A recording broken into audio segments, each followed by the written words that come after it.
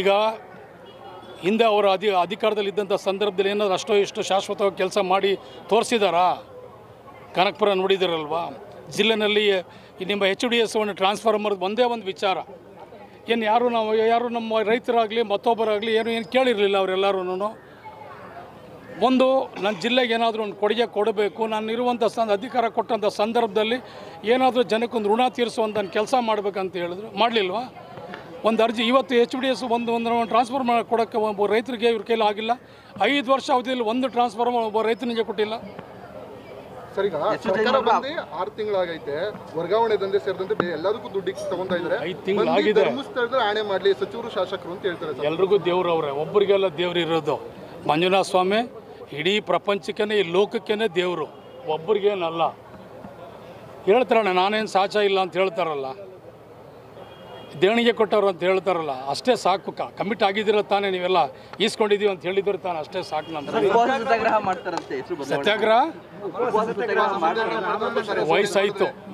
ವಯಸ್ಸಾಯಿತು ಸತ್ಯಾಗ್ರಹ ಮಾಡೋ ವಯಸ್ಸಾಯಿತು. ಈಗ ಹಿಂದೆ ಅವರು ಅಧಿ ಅಧಿಕಾರದಲ್ಲಿದ್ದಂಥ ಸಂದರ್ಭದಲ್ಲಿ ಏನಾದರೂ ಅಷ್ಟೋ ಇಷ್ಟು ಶಾಶ್ವತವಾಗಿ ಕೆಲಸ ಮಾಡಿ ತೋರಿಸಿದಾರಾ? ಕನಕಪುರ ನೋಡಿದಿರಲ್ವಾ? ಜಿಲ್ಲೆನಲ್ಲಿ ನಿಮ್ಮ ಎಚ್ ಡಿ ಎಸ್ ಒಂದು ಟ್ರಾನ್ಸ್ಫರ್ ಮಾಡೋದು ಒಂದೇ ಒಂದು ವಿಚಾರ.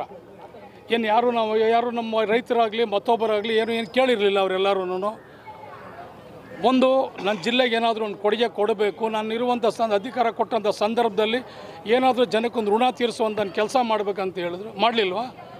ಒಂದು ಅರ್ಜಿ, ಇವತ್ತು ಎಚ್ ಡಿ ಎಸ್ ಒಂದು ಒಂದು ಟ್ರಾನ್ಸ್ಫರ್ ಮಾಡಿ, ಕೊಡೋಕ್ಕೆ ಒಬ್ಬ ರೈತರಿಗೆ ಇವ್ರ ಕೈಲಿ ಆಗಿಲ್ಲ. ಐದು ವರ್ಷ ಅವಧಿಯಲ್ಲಿ ಒಂದು ಟ್ರಾನ್ಸ್ಫರ್ ಒಬ್ಬ ರೈತನಿಗೆ ಕೊಟ್ಟಿಲ್ಲ.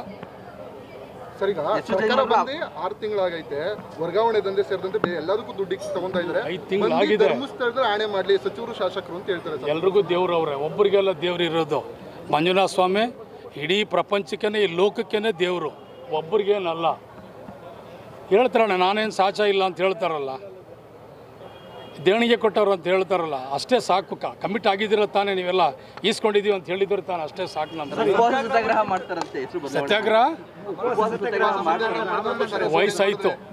ವಯಸ್ಸಾಯಿತು ಸತ್ಯಾಗ್ರಹ ಮಾಡೋ ವಯಸ್ಸಾಯಿತು.